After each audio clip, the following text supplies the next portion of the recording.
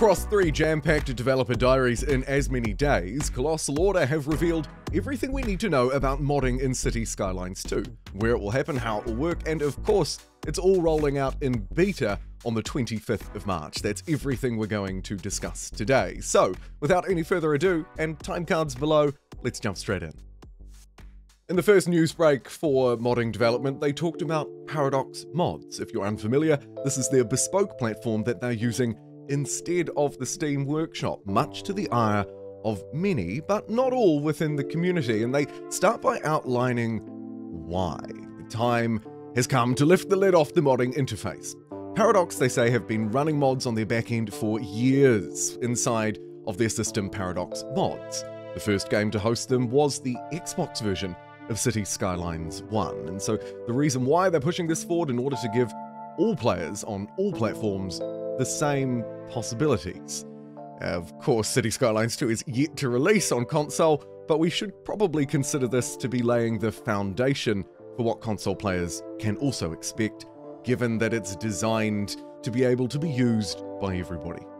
The Paradox Mods interface, therefore, will be built into the game, just as they note we may have seen in other titles like Surviving Mars.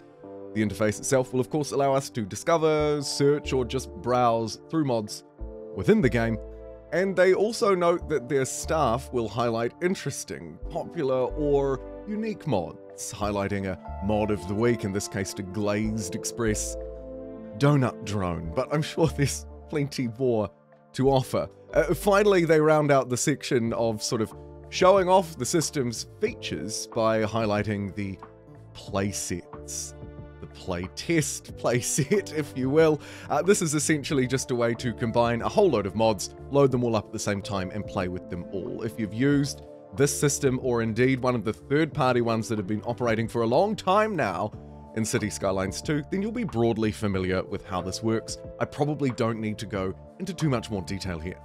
Finally, for this section, they talk about the creator experience, giving instructions on how to upload a map or custom code mods, of course, both of which we'll talk about very shortly.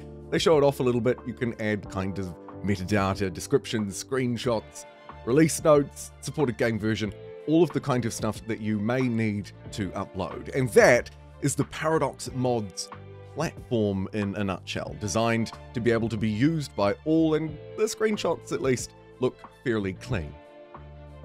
In day two, they turned their attention toward the map editor saying they wanted it to be similar to the one in Cities Skylines the First, but they wanted to, quote, expose more properties, giving more power and freedom to you so you can express your vision. The basic principle of the editor is that it should be both easy to use and flexible so that we can expand upon it in future.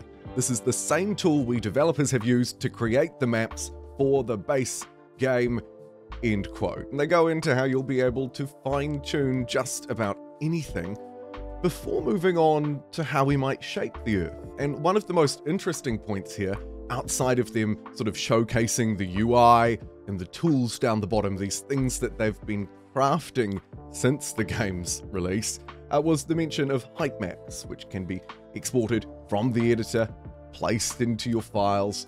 Height maps, of course, mapping perhaps a real life area, maybe your city or town I think it's a really neat option. Of course, it's not completely novel, but it's nice to see that it's being integrated here, and I wanted to mention it because it was something that they specifically highlighted in this developer diary.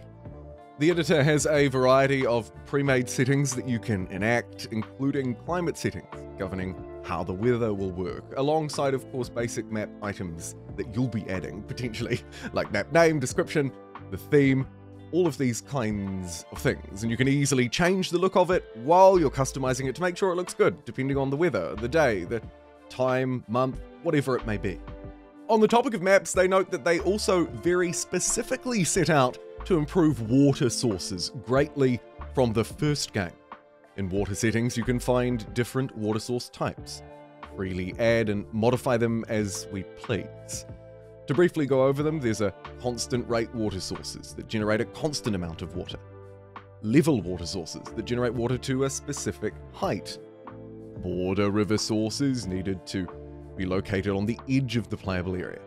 Water generates a flow that will flow off the map, and finally, seawater resources. So, different differentiations between different types, and all of them may simulate the water differently. We can further adjust simulation speed separately from the time of simulation.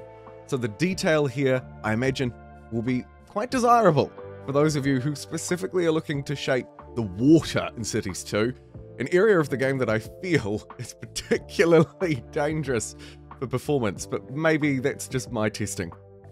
Finally, they talk about the add object setting specifically for creating roads or other decorations on the map, like linking your infrastructure to outside connections in terms of roads. The add object tool also allows us to place different decorative things like trees, rocks, old barns or houses to give that map a little bit more of a flair. And that's all on the topic of the map editor. Now let's move into the last day, the final day, day three, code modding.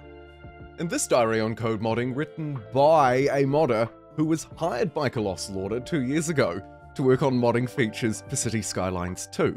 A nice touch, and I think you can almost just tell by reading it. Here again, there's a promise of more, more possibilities for modding in 2 than 1 ever had code modding, they believe that it being able and thriving within the game should lead to a whole load of different playstyles and, of course, more diversity for us. On bringing mods to City Skylines 2, they note that 1 offered very limited support for modding. Often you'd reach a point where the game would not allow you to modify something easily, and you'd have to spend days to implement it. Other modders would reach the same limitations and make their own implementations, which could conflict with each other. So it was difficult and it was limited.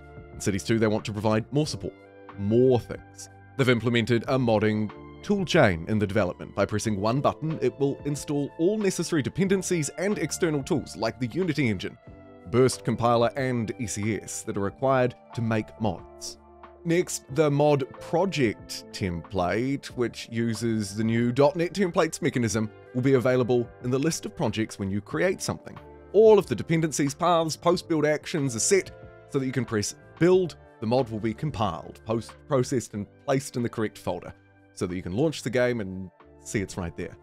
Now, without getting too far into the weeds, though it is the topic of this third and final dev diary, they do talk about optimizing mods at quite some length about how the game uses new technologies inside of the Unity engine that can provide significant benefits, but they require additional knowledge, otherwise, performance can be worse. The approach to modding that people are used to from 1 would not allow one to get the best results in Cities Skylines 2, noting that tools like Harmony, which is common in 1, is still possible, but a bit more limited now. They've added a mod post processor, again, making that burst compilation, low level optimizations used in the game to allow all mods to use the same possibilities of the engine that the game uses without additional struggles to figure out how to do it all for yourself. Again, the idea is to provide more, but hopefully still provide it in a way that is user friendly, at least to the target audience. On the topic of mod compatibility, they open this idea by talking a lot about how it can be complicated, and how mods can break games. In City Skylines 2, it should be less of a problem. They say when mods are introduced, their features the same way the game does. Therefore, there's some synergy between it, right? It's working the same way the game does, should be smoother. To make a new feature, you don't have to find different places in the game code and modify all of them to include your functionality. Worry about the fact that one place might break another, or be changed in a future update. The only thing you need to do is create your own system and register it in the updating loop. From that moment on, the game will treat it the same way it treats any base game system. Another example is game settings. They made a simple but flexible automatic system that takes properties that modders mark by special attributes from their mod and fills them into the game settings. Again, you can register the settings by calling one method, and you don't need to worry about how to build a settings page for your mod. And furthermore, adding to this, they talk about how in City Skylines 2, or 1, I should say, you probably faced a situation where one mod could break another mod because they use different versions of the same dependency. Cities 2 tries to catch most of that. Complicated relationships, resolving dependencies and conflicts between mods. Additionally, there's no such thing as a mod loading order, thank goodness, where one mod must be loaded before another in order to work, so we don't need to worry about that in Cities 2. And that concludes my roundup of three developer diaries on modding in one sweet video. Don't forget, I'll be back for the patch release on March 25th when all of this stuff goes live. And of course, the dev diaries are linked below. See you next time.